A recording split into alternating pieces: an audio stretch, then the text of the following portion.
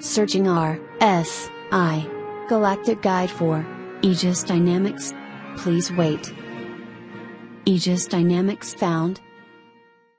Introduction Aegis Dynamics began life in a merger between Earth-based Aegis Macrocomputing and Davien-based Dynamic Production Systems.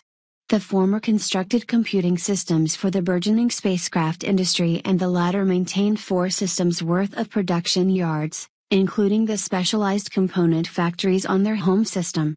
The goal from day one was to build naval spacecraft, and the resulting company was tailor-made for military contract bidding in an era when mankind was marshalling its forces.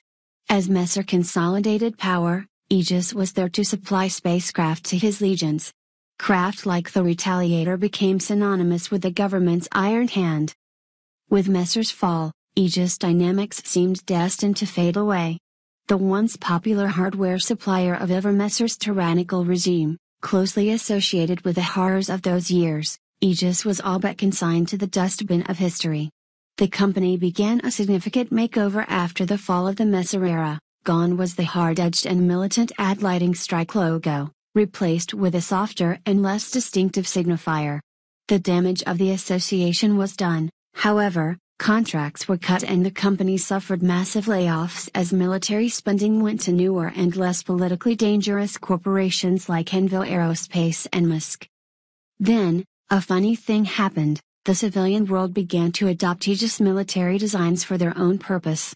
Whether a testament to the increasingly dangerous galaxy or the sheer reliability of Aegis weapons of war, the company once fueled by dictatorial government contracts now thrived on the population it once helped oppress.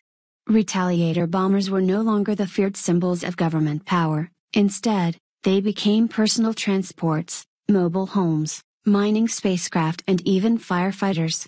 The burdens of Aegis Pass began to lift and the company began to focus on civilian variants for their current generation designs. Section 1 Avenger the Avenger began its life serving dutifully as the premier frontline carrier plane of the late 28th century. Avengers racked up a number of impressive space-to-space victories in that era, but were ultimately supplanted by more maneuverable designs like the Hornet. With space combat focusing more on skilled maneuvering than pure weapon storage, the Avenger fell out of active duty with the military and was repurposed as the standard ship for advocacy and local law enforcement. Today, the military will still use Avengers as trainers. The two-seat variant is a forgiving first spacecraft for new pilots.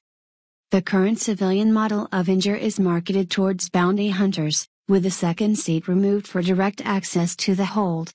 Munitions storage has also been replaced with traditional cargo hooks, and, perhaps most importantly, the standard exterior flightline ladder entry system has been replaced with an internalized solution that allows the pilot to more easily maintain control of access and egress. Section 2 Retaliator The Retaliator, once the symbol of Messer's Iron Fist, has transitioned along with the company to become an all purpose spacecraft design.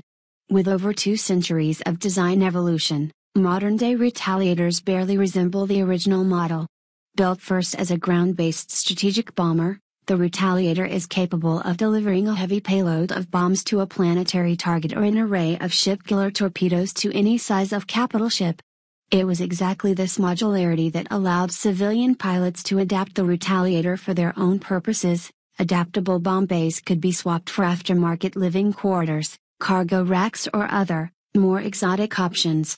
Added to this was the vast quantity of surplus retaliators stored in low humidity conditions around the galaxy, making them a cost-effective option for pilots looking to make a start with a larger crewed spaceship. The resulting do-it-yourself nature of retaliator ownership has caused an interesting, ship-specific culture to flourish. Though they come from all walks of life, civilian retaliator pilots have formed something of a brotherhood around their love of their Tallies. So-called bomber boys organize retaliator conventions and compete to find the most interesting new uses for the spacecraft. BB gatherings may bring thousands of the ships together at once, and provide an interesting sight for anyone caught in the middle. Section 3 Surveyor Today, The Aegis Surveyor is the company's best selling remaining military contract ship. Surveyors are heavy duty space salvage ships designed for a strong support role. The design isn't pretty to look at, but it features a variety of rugged specialized tools, all designed for operation in a combat theater, long range jump drives, launch pods for drones, tractor beams, floodlights, and more. Civilian surveyors are also a common sight on the frontier, where they are adapted as dedicated salvage ships and explorers. A crew traveling deep space in a surveyor should be capable of taking home some of whatever mysteries they happen across.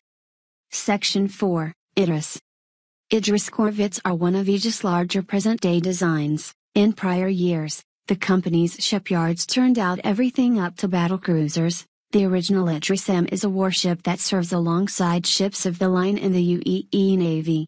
Fast, armored predators, Idris Ms are used for everything from long-duration patrols to scouting dangerous jump points to interdiction. A properly outfitted Idris with an effective crew can serve as a torpedo boat. In rare instances, the Idris has even used its speed and maneuverability advantages to scuttle opposing cruisers. Militia units have also adopted the Idris, in its lighter Idris P variety. The Idris P removes the spinal mount weapons platform found on the M, in exchange for additional cargo storage and a higher effective top speed. Idris Ps frequently carry several light fighters and are used for anti-smuggling operations. It is not uncommon to come across an Idris P laden with multiple prizes. The most brazen pirate clans are even known to target non-military Idrises for this reason. The Idris P Patrol design is available in limited quantities on the civilian market, and it continues to rehabilitate Aegis' reputation, having become something of a luxury item.